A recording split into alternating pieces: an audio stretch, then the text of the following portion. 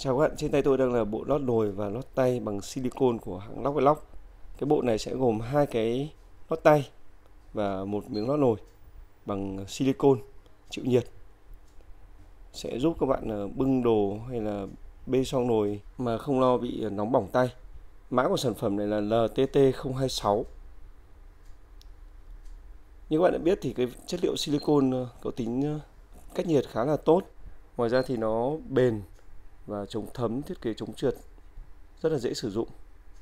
Đây là cái bộ của chúng ta gồm hai cái nót tay để các bạn bê xong nồi.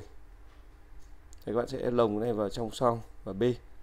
Và một cái miếng lót nồi các bạn đặt ở dưới bàn sau đó đặt nồi lên thì sẽ không lo cái nồi nó làm hỏng bàn ở dưới.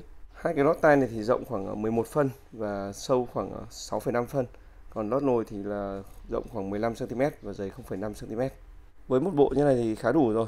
Các bạn ờ, vừa để lót nồi ở trên bàn này hay là để ờ, lót khi các bạn bê đồ nóng. Rất là an toàn và dễ sử dụng. Để tìm hiểu kỹ hơn về cái bộ miếng lót nồi và lót tay bằng silicon các bạn có thể truy cập trang web gia dụng nhà việt.com cảm ơn các bạn đã theo dõi. Xin chào và hẹn gặp lại.